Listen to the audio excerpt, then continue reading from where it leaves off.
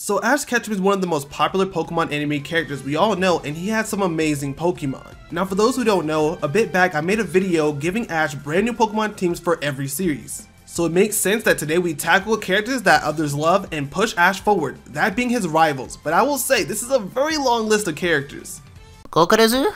Oh, poor Go- Wait, that fire monkey already came back already. Screw this. Where's my Goga? Hey, is that Raph? Just the person I was looking for. Hey, what's going on guys? My name's Raph, and huge thanks to the bro Infamous for having me on the channel today. Of course, bro. We have a lot of Pokemon teams to tackle, so without further ado, let's go ahead and dive in. First up, we have Ash's first ever rival, Gary. His team would be Aerodactyl, Charizard, Blastoise, Electivire, Umbreon, and Galarian Moltres. Now I know what you're thinking, what the heck are these options? Well if you shush and let me explain, then you'll find out. Aerodactyl is a Pokemon that was resurrected during the project Gary took part in episode 15 of Pokemon Chronicles. Gary decided to give the Pokemon to Crystal for her to look after it, but what if he kept it? It would have been a great asset to him, and it even has the capability of Mega Evolution. Charizard is a Pokemon that Blue, Gary's counterpart, has on his Pokemon Adventures manga team. It's quite a fitting Pokemon for Gary overall too in relation to his manga's counterpart. As for Galarian Moltres, this one was a bit of a wild card as it relates to the Project Mew segment of Pokemon Journeys. We know that Gary encountered Moltres back with Ash and Goh, but we thought why not spice it up a bit. No pun intended. Following Gary is another fan favorite, that being Ritchie. For his team, it would be Sparky, Charizard, Vaporeon, Tyranitar, Swellow, and Grotle.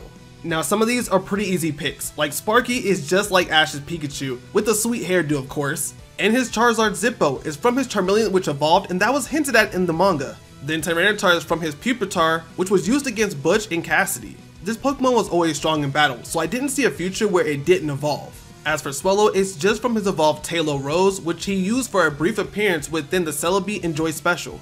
Then for Eevee, it was a mentioned Pokemon during a conversation between Oak and Ritchie as he was wondering how to evolve it so for balance sake, we gave him Vaporeon. And lastly, Grotle is another Pokemon that goes with the current theme of Generation 4, and the remakes with Legends coming out soon. Plus, why not give him a grass type that Ash also owned, as he does mimic Ash a couple times on his team. But let's just see if he can become a league champion like Ash too. Now representing Johto, we have Harrison, and his team will be Blaziken, Houndoom, Miltank, Kecleon, Steelix, and Grumpig. Now this overall team is composed of Pokemon that he uses in the anime, well, except for Grumpig. Now Harrison actually uses a Hypno on his team, which of course is a cool Pokemon from Kanto. But why not have a representation for Hoenn, as we got teased with Blaziken? So the best pick was to switch it out for Grumpig, which is still a Psychic Pokemon and one that we don't get to see too often, and it would have had fans also surprised at a new Pokemon. Up next is Hoenn rival Morrison. His team would now consist of Swampert, Arcanine, Gligar, Steelix, Metagross, and Zangoose. The only two additions we made with Morrison's team would be that his Growlithe would now evolve into an Arcanine, and that Girafarig would be swapped for a Zangoose. Arcanine is pretty straightforward, as it's simply Growlithe that just evolved into its final stage. As for Zangoose, we felt that this Pokemon would be pretty strong under Morrison's personnel. Zangoose is a Pokemon that's been prominent throughout the course of the AG series, and it seems like a good fit for Morrison overall, especially with how he likes to challenge people, somewhat similar to how Zangoose portrays itself on the battlefield. For Tyson, we gave him Dragoon. Oh wait, that's Beyblade, that's the wrong anime, sorry, my bad. For Tyson, we pretty much stuck with his original team and swapped Metagross for Salamence instead. Seeing as we gave Morrison the privilege of having his Metang evolve into its final stage, we thought giving Tyson the alternative pseudo legendary would be more ideal, and it fits pretty nicely on his team. Since we're in the Sinnoh hype season, we'll kick it off with Nando and his new Pokemon team consisting of Roserade, Sunflora, Cherrim, Kricketune, Armaldo, and Beautyfly. You may see a theme going on here as Raph and I decide to focus this team around flowers and bugs, which seems to be the two typings Nando mainly uses. The new team members here are Cherrim and Beautyfly. Now Cherrim is due to having another Sinnoh Grass representation for the anime and could be a unique Pokemon for contest, especially with the form change. And Beautyfly is because it's another beautiful bug type Pokemon, which is a better choice than Mothim, a good combination of style and skilled Pokemon. Now it's time for the best Ash rival of all time. Paul's new team will be Electivire, Torterra, Drapion, Ursaring, Honchkrow, and Grimmsnarl. Now I know you're already confused by Grimmsnarl as he's not a Pokemon that anyone could have until Galar. But hear me out because there's a specific reason for this choice. As I believe if we see Paul make his epic return in Pokemon Journeys, he will be sporting some new Pokemon on his team, Additionally, we don't have much representation for Galar, and this Pokemon's design and characteristic just stand out as a Pokemon he would catch and have on his team. Also to further show that, we have an amazing artist known by Thiago who made some amazing artwork showing off Ash versus Paul using Mega Lucario versus Grimmsnarl. I believe this would be epic and something I'm hoping one day we can see in the anime. Sticking with Sinnoh, we have Barry. His team consists of Empoleon, Roserade, Staraptor, Heracross, Rapidash, and Snorlax. Now when it comes to Barry, we decided to give him some additions from his game counterpart. We swapped Skarmory for Rapidash so that it would cover the fire typing, and Barry already has a flying type in his team with Staraptor. As for Hitmonlee, Snorlax was the replacement. Snorlax tends to be a Pokemon Barry is very fond of in the games, and he's the trainer that introduces the player character to its pre-evolved baby form Munchlax. Plus we see Barry having this tanky beast by his side, so please, don't fine us on this one. Action Replay Boy is next. well, this one's going to be fun, but I'll give you the detour. I recently made a video on my channel talking about what Tobias' full team would be and how there's evidence to support it being full of legendary Pokemon. But in brief, the team would essentially be Darkrai, Latios, Latias, Entei, Zapdos, and Lugia. If you want to know why, then be sure to check this video out. Thanks for the plug broski.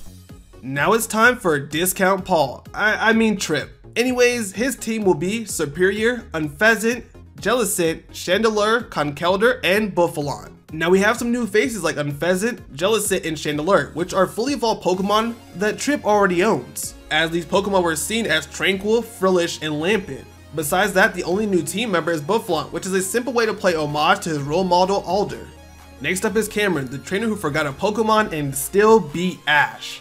I can't believe the writers really did that. I mean, anyway, his team will be Lucario, Ferrothorn, Samurott, Hydreigon, Swanna, and Heatmor. The only change here is Heatmor which was replaced by Watchog. This change is simply to cover better typings. He still shouldn't win, but this would be his team.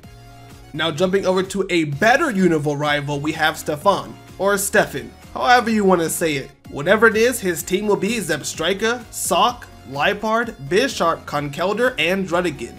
For this team, we went complete power. Stefan is known as a powerful trainer and his Pokemon can pack a punch, so why not give him better coverage with heavy hitters?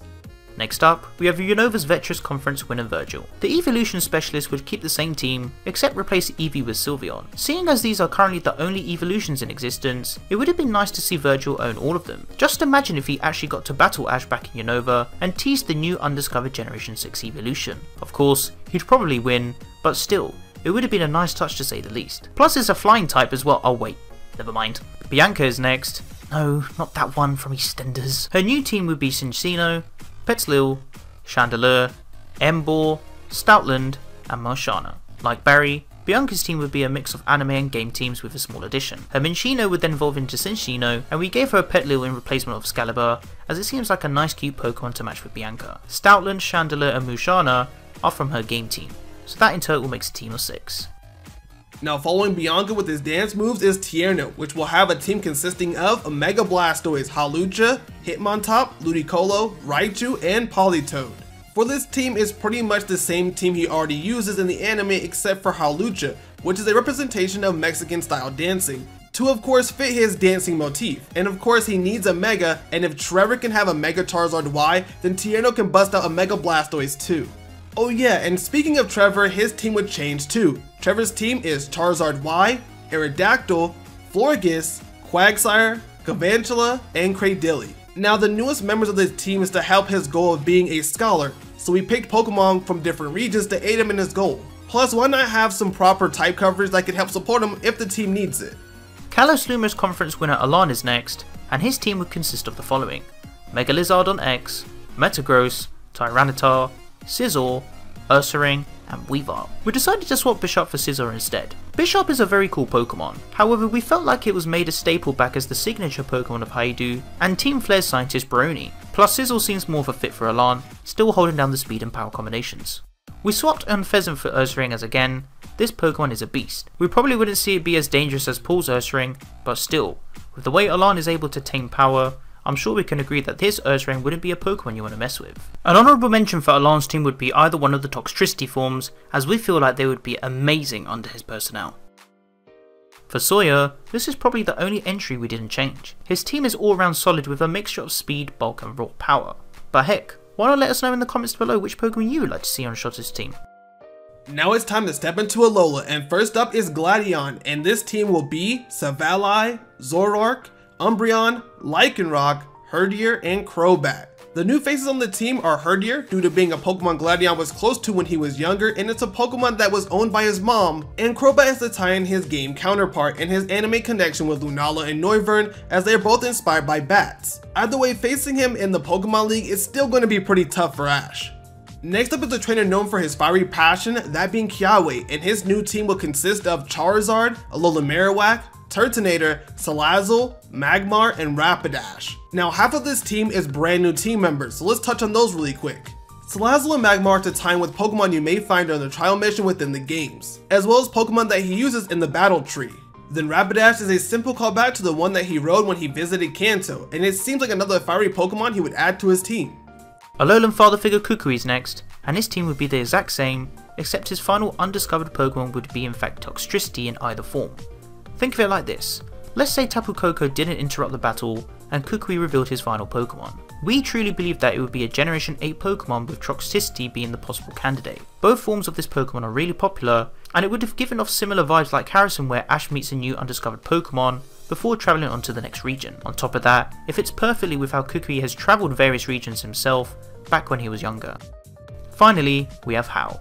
His Pokemon would be Decidueye, Raichu, Tauros, Crabominable, Noivern, and Flareon. The four new additions were chosen for various reasons. Tauros seems like a fun Pokemon to give to Hau, maybe even holding a small easter egg to Hau in the games. The player character learns how to ride Tauros back on Melemele Island, the island to Hau's grandfather Hala, who is the kahuna of the island. Crabominable and Flareon are both options from his game team, and Noivern felt like a great Pokemon to match Hau's battle style.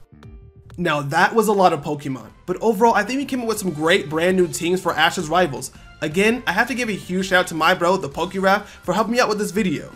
Thanks so much for having me bro, this was really fun. If you guys came in from my channel, then be sure to subscribe to Infamous, as he really does upload that fire content. On that note, be sure to leave a like on the video if you enjoyed, and subscribe if you want to see more content like this. And if you haven't checked out the first video in this series, make sure to go ahead and check it out as I did Ash's brand new teams. Also, be sure to head over to Raf's channel and check out his video on Ash's next adventure to Generation 9 in the Italy region. It's a banger video and you guys won't regret it. So I'll see you guys in the next video, you guys have a good one, and bye!